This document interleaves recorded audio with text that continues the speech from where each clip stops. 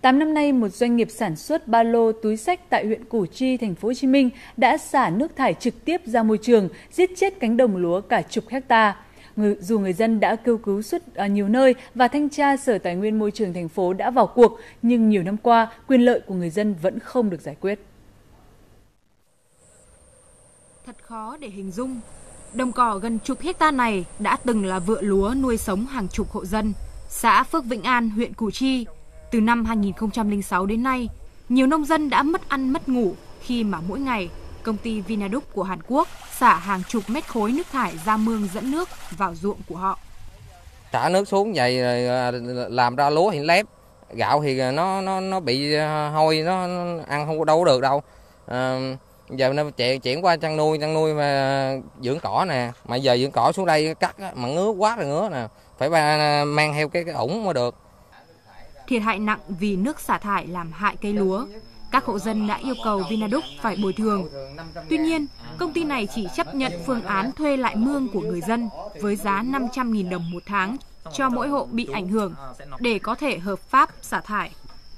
Dân không đồng ý, công ty vẫn ngang nhiên xả thải và không chịu bồi thường một đồng nào từ ngày đó tới bây giờ là thiệt hại, đến bây giờ là công ty coi như là bỏ trâu qua luôn, không có nói chuyện gì đến ờ, người dân của chúng tôi. Đến khi mà chúng tôi lên vô, muốn gặp trao đổi với lại ban giám đốc mà là là ban giám đốc cũng không tiếp chúng tôi. Trước sự ngang ngược của Vinaduc, nhiều hộ dân gửi đơn lên xã kêu cứu. Xã sau đó đã tổ chức hai đợt hòa giải từ năm 2009 nhưng đều bất thành.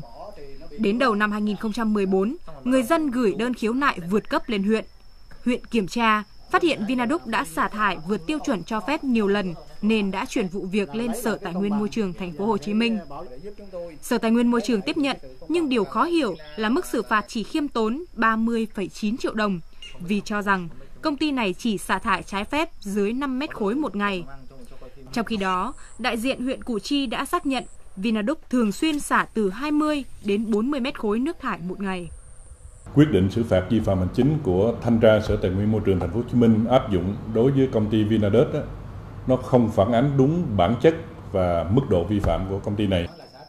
Sở Tài nguyên Môi trường thành phố Hồ Chí Minh đã yêu cầu Vinaduc phải có hệ thống nước thải trong vòng 40 ngày kể từ ngày 25 tháng 4.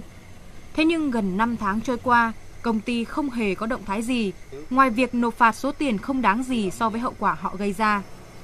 Trong khi đó, Sở Tài nguyên Môi trường cũng không có quyết định cưỡng chế gì hơn. Chỉ khổ nhất là những người dân ở đây lại tiếp tục không trồng cấy gì được trên những thửa ruộng của mình,